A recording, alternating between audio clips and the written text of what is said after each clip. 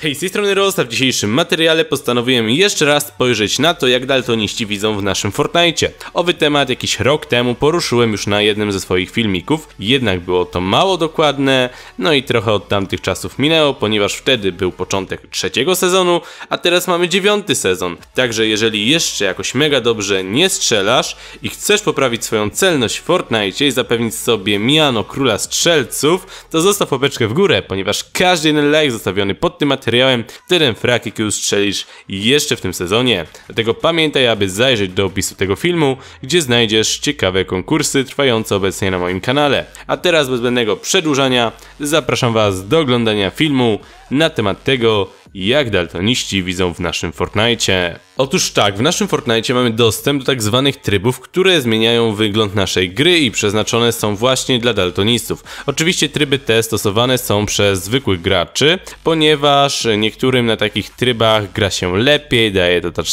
czasami jakąś tam przewagę, widać przez mgłę, przez burzę i tym podobne rzeczy, ale mimo iż pewnie niektórzy z Was testowali sobie takie tryby, to zapewne niewiele osób sprawdzało jak skiny, mapa oraz wszystko inne w grze wygląda w porównaniu do wersji oryginalnej. Na pewno jakieś tam różnice drobne zauważyliście, no ale szczegóły pewnie nie znacie.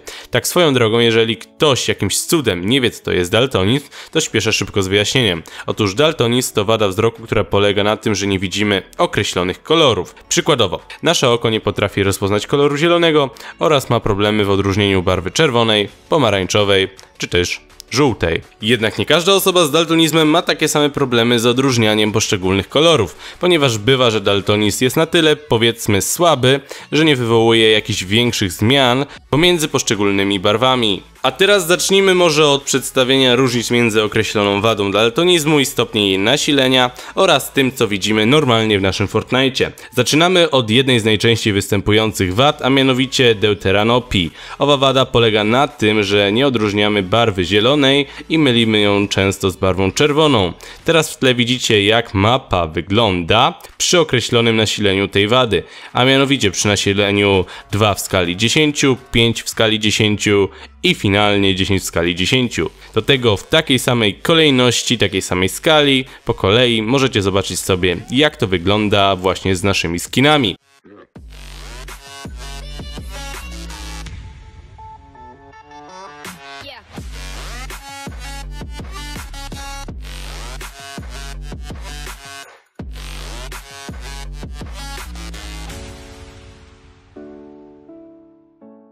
A teraz protanopia, czyli wada wzroku polegająca na nierozpoznawaniu barwy czerwonej lub myleniu ją z barwą zieloną. Owa wada objawia się obniżeniem jaskrawości barwy czerwonej, pomarańczowej i żółtej.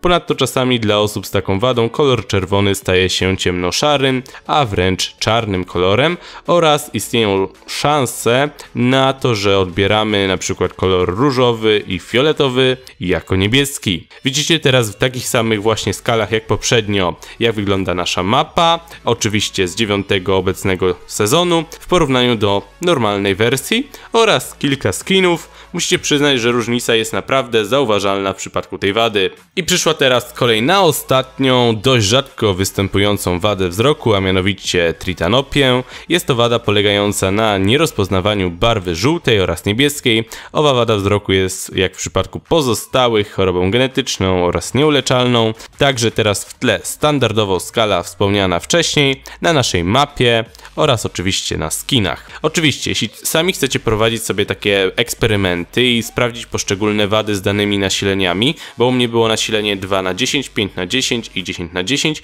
ale są oczywiście 1 na 10, 2 na 10, 3 na 10 i tak dalej. Także jeżeli chcecie sobie to przetestować i sprawdzić jak to wygląda, to możecie sobie oczywiście y, sami to sprawdzić, wchodząc właśnie w ustawienia gry i tam sobie możecie ustawiać poszczególne wady wzroku, a następnie poziom ich nasilenia. I następnie możecie to oczywiście testować. A w tym filmie to było na tyle. Mam nadzieję, że taki nietypowy film Wam się spodobał. Oczywiście w komentarzu na dole możecie dać znać, co sądzicie na ten temat, a mówi do Was oczywiście Rost. Trzymajcie się i do usłyszenia w następnym materiale. Hej!